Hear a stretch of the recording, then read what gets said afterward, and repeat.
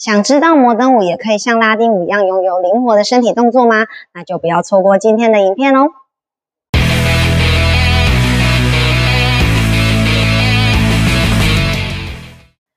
各位 Dance Passion 舞动魂的观众朋友，大家好，我是 Selena 老师，欢迎来到国标小学堂的技术篇。今天要为大家分享的主题是：谁说摩登舞没有灵活的身体运作？那很多人都以为呢，在跳摩登舞呢，只要维持直直的身体形状，然后整根这样移来移去就好了。其实不是的。当你呢摩登舞在学习到相当的程度之后呢，我们就要追求了更多更多的身体运作。所以今天呢，就是要为大家介绍我们摩登舞有哪些部分呢？我们可以区分出。来做不一样的身体运作。那首先要介绍身体运作之前呢，先为大家介绍两种在摩登舞里面常常使用的身体运作。那首先呢，第一个是节拍式的身体运作，就是呢我们的使用是这样子摆荡的，好像在上面呢画一个抛物线的形状。所以你会发现我钟摆的方式是从下，然后呢经过上面一个半弧形，然后到上，就是我们英文所谓的 metronomic，那就是节拍式。好，那第二种使用的方式呢，就是我们常说的这个就比较多人知道的 pendulum。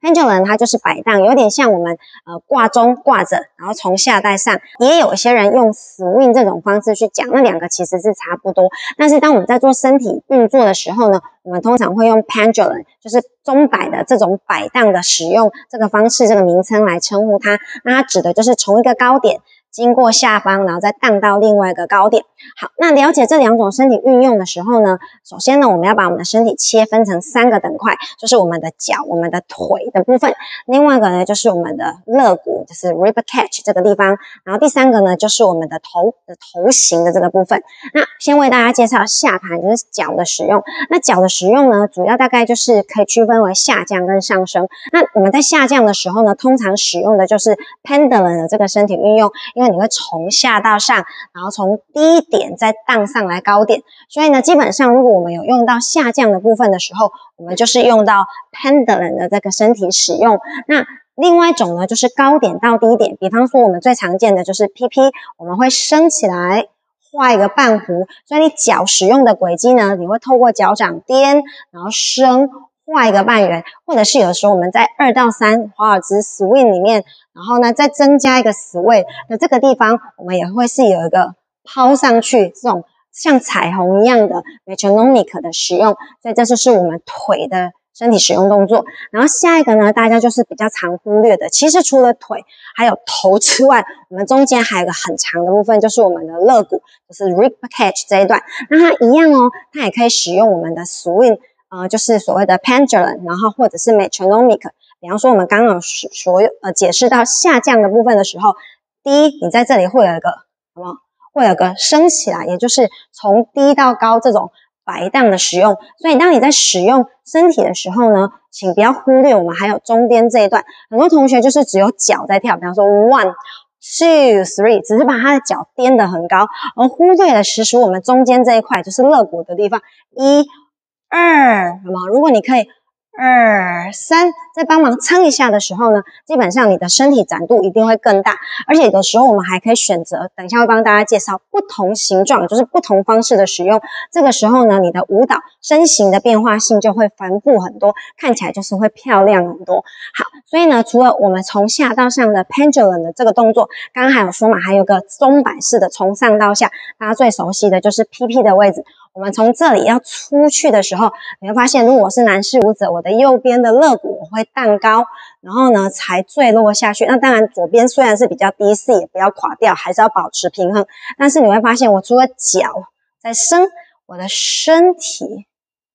也会有一个钟摆式的倾斜幅度。这样看起来呢，我的身体就比较不会那么直，然后身体的灵活性都会大很多。当然你会发现。我那我的身体使用其实真的都比较 inside 啦，因为它还是要维持你的垂直，然后你硬硬的一根很像 one piece 的形状。但是同学一定要切记，在 one piece 里面，如果我们可以加上一些这种灵活的身体动作，相信大家看影片看到优秀的舞者这样跳的时候，你一定会非常喜欢。所以还是希望同学可以去追求。那么第三点就是我们的头型，那基本上我们的头啊，因为长在上面，所以它通常只能用这种。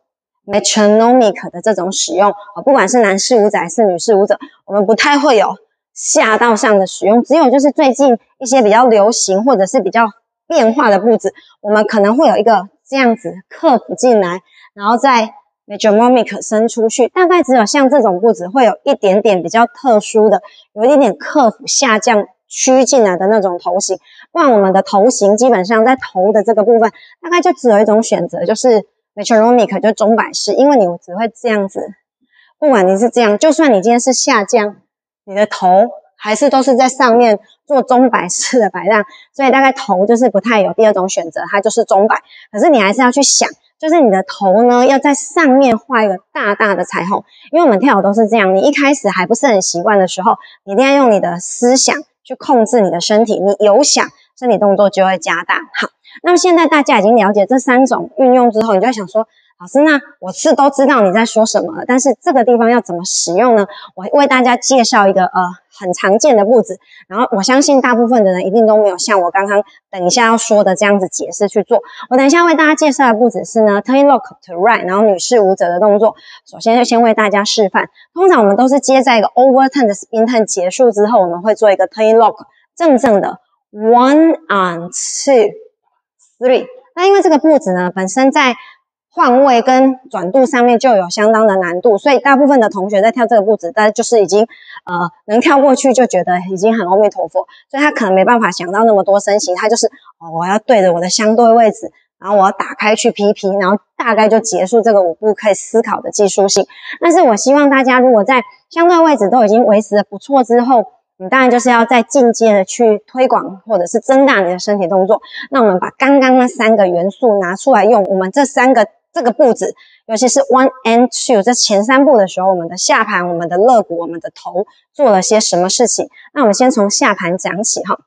那一开始的时候，它是一个 cushion 下去一 and，然后二的时候它才摆荡起来，然后转动到 PP 的位置。所以呢，在脚的前两部部部分呢，它就是先做钟摆式下面的摆荡，就是 pendulum pendulum，然后这里才一个 metronomic 的。节拍式的摆荡，从上到下的摆荡，这是我们腿的部分。这个大概大部分的同学都没有问题。好，那第二个地方就是我们的肋骨，这个大概就很多同学不知道，因为在这个步子里面，大家都知道，呃，初阶舞者他可能就是维持正正的，也就是鼠位是有点向右。那么高阶舞者的时候呢，我们鼠位是要向左，也就是说我们在右转的时候，我们女生的头型会故意是把它往左倾斜，所以这个时候你的肋骨就是会往左边做一个什么？metronomic 的摆荡哦，就是上面到下面的彩虹摆荡。所以一，然后加的时候呢，因为你夹脚，有没有看到我的身体其实就会有一点怎么样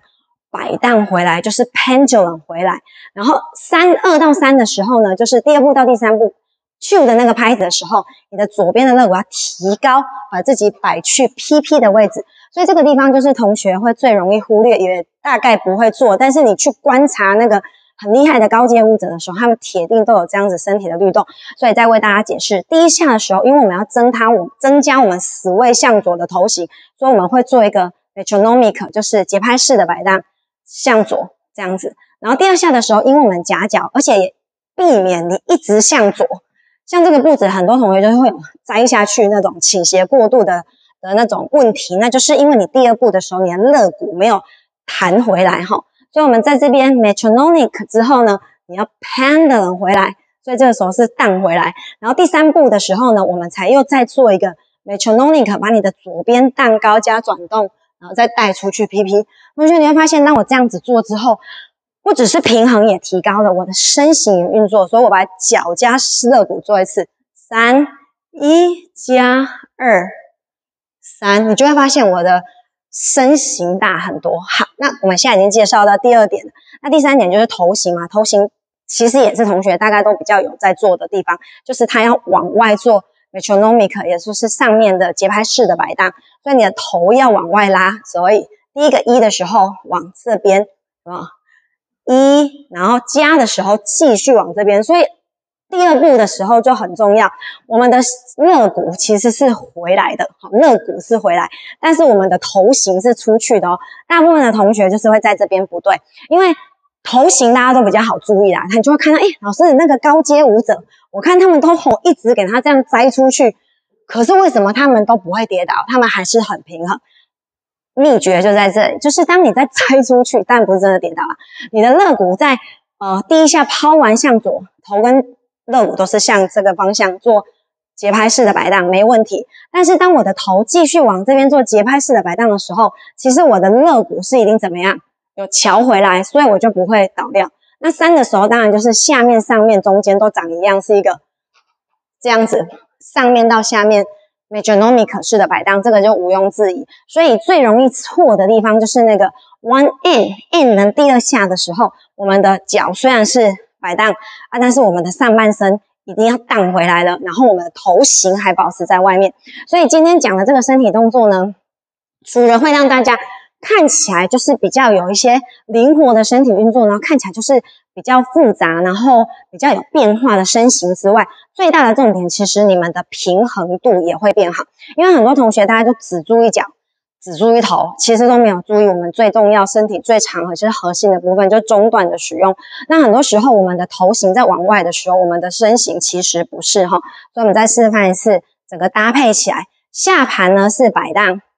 一，但是我的上面第二段跟第三段都是往外，好，下盘继续摆荡，但是我的肋骨其实就正回来了，头型继续往外，然后二到三的时候，我们一起做一个节拍式的摆荡，把自己摆回来，好，连续再为大家嗯示范一次，one two three，one and two three，所以你就会看到我的，尤其是二到三的时候。我的下盘在使用，我的头型虽然是往外抛，但是我的肋骨是往内卷的。好，那希望今天为大家介绍这三种三段式的身体的两种使用方式之后，你可以回去思考，在你的舞步里面，你的脚、你的身、你的头，它是怎么组合的？那相信呢，你就会爆出很多不一样的火花，你就会找到很多你的舞步里面